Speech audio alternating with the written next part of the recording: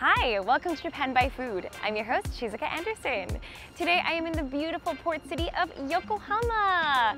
Yokohama is actually one of the first port cities to open up after the seclusion policy of Japan ended after 1859. So because of that, there are a lot of really historic Western influenced buildings. It's a beautiful place to visit. And on top of that, there's a lot of foods that were imported from foreign countries because of that foreign influence. So let's go and check out, first of all, Chinatown.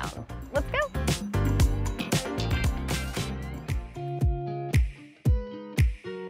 This is the Yokohama Chinatown. It's the largest Chinatown in all of Japan. Let's see what kind of delicious goodies we can find.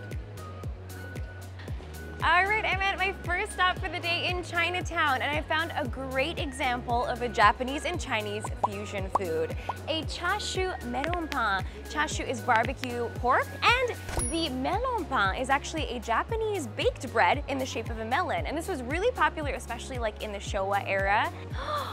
Oh my gosh, the melon bread is so delicate. It just like, it kind of crumbles when I pick it up. Let's take a bite. Itadakimasu. Oh my gosh, that's super hot. I couldn't even like bite all the way in. It's like, you can tell it's gonna burn my mouth. oh no. It is remarkably flaky. Like this, the bottom pastry is so flaky. It's almost like a croissant. The saltiness really balances nicely with that flaky, crispy sweetness of the pastry. Really good. I recommend this. Mm, this is so good that even the pigeons come in to join me for crumbs. I'm gonna finish munching on these and let's go explore some more delicious food. I found something really cute, so I'm gonna go get it. So this is my pandaman. It's a strawberry pandaman. It's a Chinese style steamed bun, but the filling is a Japanese favorite, strawberry filling. Here we go, itadakimasu. Mmm, really good. This tastes a little bit like a mixture of red bean paste with some really vibrant, fruity strawberry flavor. And the bun is super fluffy, super chewy, your classic steamed bun.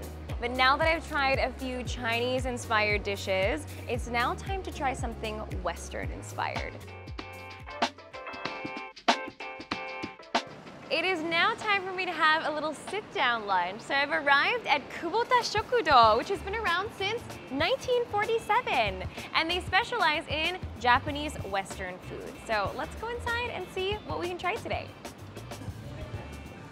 あ、こんにちは。いらっしゃいませ。あ、こんにちは。よかったらあちらどうぞ。あ、ありがとうございます。はい、こんにちは。いらっしゃいませ。お願いします。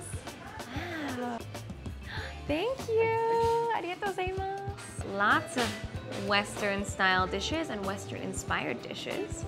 This is hayashi rice. Hashed beef with rice. This is a classic example of yoshoku, Japanese Western food.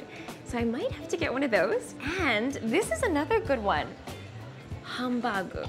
If we're talking about Japanese Western food, hambagu is also a must. So I think I'm gonna get one of these as well. I'm a hungry girl today. Wow, take a look at this. This is a photo of what the shop looked like when it first opened. But apparently at the beginning, it was a Japanese restaurant. And then 19 years ago, they switched to Japanese Western food. このハンバーグの特徴は大根おろしとあとしそとあと万能ネギが乗ってますで照り焼きソースがかかってますこのお店にしてからは15万食以上皆さんに召し上がっていただいておりますで毎日手でパティを作ってやってますの店のハヤシライスのハヤシソースは牛バラ肉と,牛すじも入れてあってトマトソースの酸味もありながらコクのあるソースに仕上がってるのでそれとご飯を混ぜて召し上がっていただいてます。This is gonna be so good. Here we go. Let's take a bite. いただきます。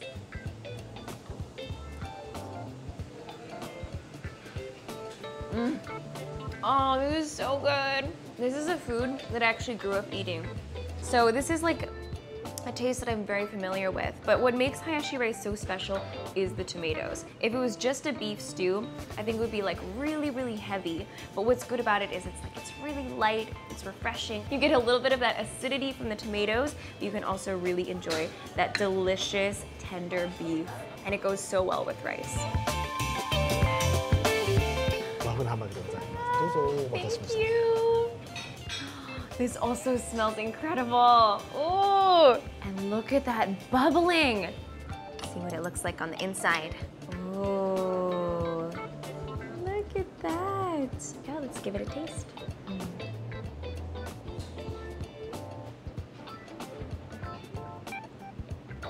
Mmm.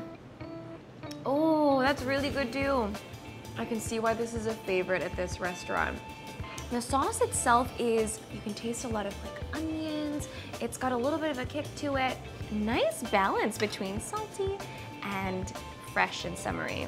And of course the meat, super, super juicy. A wonderful hamburger steak. Mmm. So once I finish up with this meal, I still have one more place to take you guys. We're gonna go to a really, really historic Yokohama hotel to try some Yoshoku Japanese Western style foods that were invented at that hotel. My last stop of the day is the Hotel New Grand. It's an incredibly historic hotel that opened in 1927, and it's hosted many famous guests such as Babe Ruth, General MacArthur, and even Charlie Chaplin. Konnichiwa. Hi, onegai shimasu. Let's go.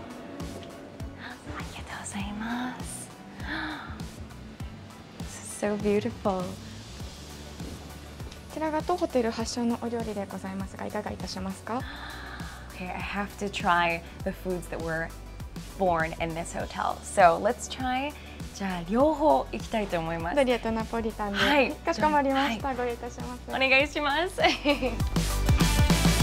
このドリアの特徴はですねしっかりと丁寧に敷き詰めるですねバターライスを仕上げるかというところが大きなポイントなんですねバターの中に人参とか玉ねぎとかい入れてですねそしてお米を入れてパラパラになるまで透き通るまでに炒めるんですねそれから炊き上げて炊き上がった時にお米を一粒一粒がですねパラパラに仕上がるような感じで仕上げてるのがまあ特徴だと思っております This is the original seafood doria, also known as seafood gratin. And the story behind this is that a Swiss chef, who is the grand chef here at this hotel, he invented this dish when a guest who is staying here uh, was sick. And this, this particular guest needed something easy on the stomach, so he whipped up this wonderful dish using rice, very easy to digest. Mmm. Mmm. You can enjoy lots of really juicy, plump shrimp. And of course, the sauce is incredibly creamy, um, very cheesy. It's very, very just smooth and buttery. And also, the rice stays really nicely firm. Um, it doesn't really get influenced by the, the wetness of the sauce. It's very creamy. Each bite is just pure luxury. お待たせいたしましたスパゲッティナポリタンでございます Wow, this looks amazing. Thank you. 私どものホテルのスパゲティナポリタンはですね昭和20年から27年まであのアメリカ軍に接収されてたんですね。で将校の宿舎として使われてたんですけどもそのうん彼らが持ち込んだものにケチャップとスパゲティがあってそれをあえて軍用食のような感じで食べてたんですね。まあ、それを知ってた2代目の入江がですねたくさんのスパゲティを残してたんですね。このスパゲティをもう一度何か活用できないかということで玉ねぎとかニンニク3種類のトマトを使ってナポリ風のトマトソースを作ってスパゲティナポリタンとして売り出そうということが、まあ、きっかけなんですね。This is a spaghetti that's loved all across Japan, but this is the original recipe and it was invented right here at this hotel by a chef named Shigetada Irie. Ooh, this is beautiful. Itadakimasu.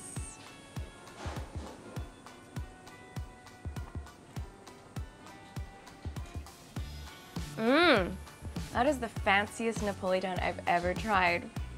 Wow, that is so good. And I think what's really, really unique about Napolitan is the, the noodles. The noodles always taste really, really chewy. It's not an al dente style like a lot of Italian pastas are, but that's what makes this one really, really unique. Most Napolitans use ketchup, but this one actually uses tomato puree, and that was the original way that they made it.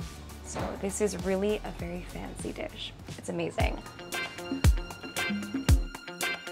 What an amazing meal. But this actually wraps up my day here. It was so much fun walking down the street. And of course, all of the foods were so delicious. If you guys enjoyed this video, make sure to give us a like and a comment, share, and of course, subscribe. And we'll see you guys very soon in another video. Thanks so much, guys. Bye.